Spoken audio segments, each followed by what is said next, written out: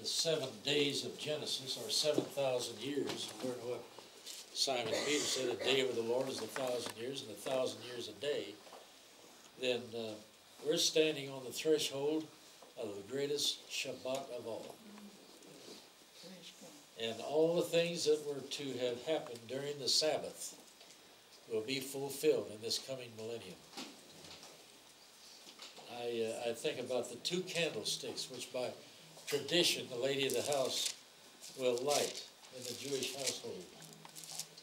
Uh, those two candlesticks are spoken of more than once, and also here in Zechariah.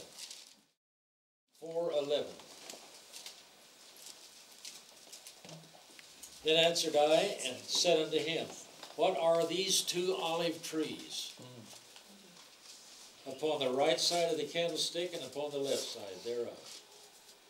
Now, Paul uses that in the book of Romans. The two olive branches, he calls them. And one is the tame and one is the wild. And it doesn't take much reading and much knowledge to see that he's talking about the Jewish people being the tame olive branch and the Gentile branch being added later as the wild.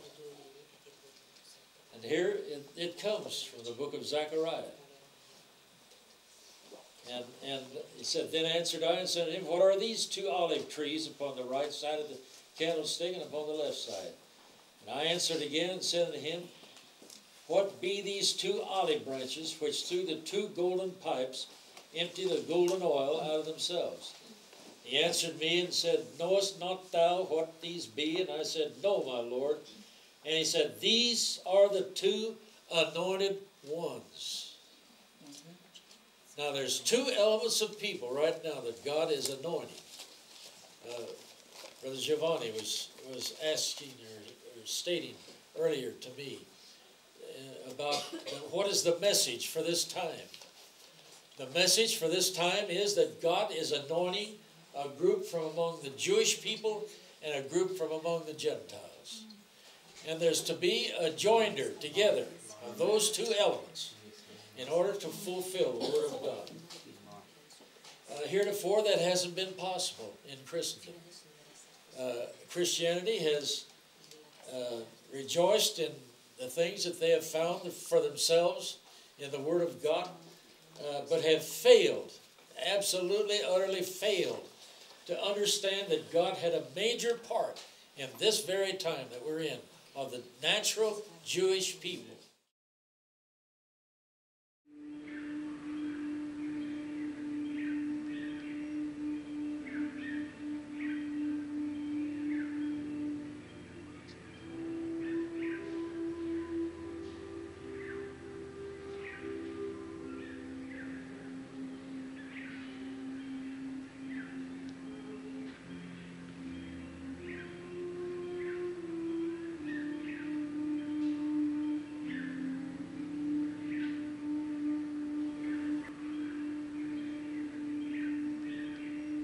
Jewish people are the people that God chose to reveal himself to the world.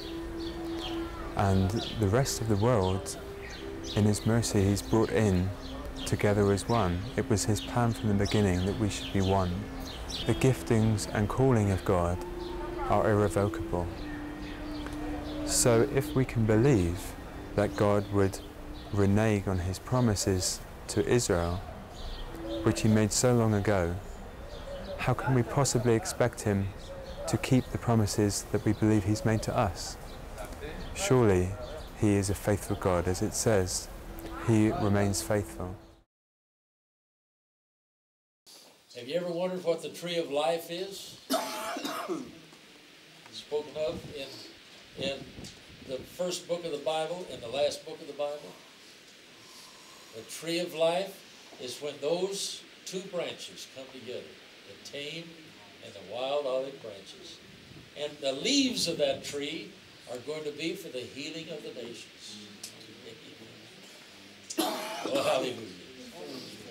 The leaves of that tree, that's the precepts, the laws, the truths of that coming together of Jew and Gentile.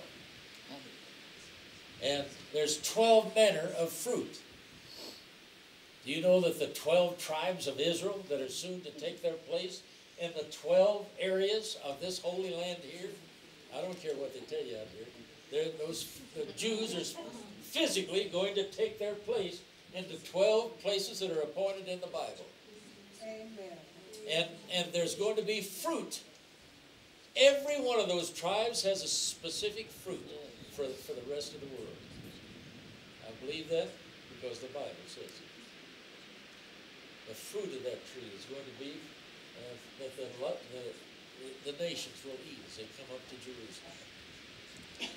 And the nations that come not up, no rain shall fall on their land. I expect there to be a topogra- topographical change in this world before too much longer. The earth- earthquakes that are occurring, occurring right now are, are just a, a symbol of something that's going to happen in the near future. As, as the world begins to go into transition, as it's headed at this time, and Jesus prophesied that there would be goat nations and sheep mm-hmm. nations. Didn't he? It names them goat nation and sheep na- nations.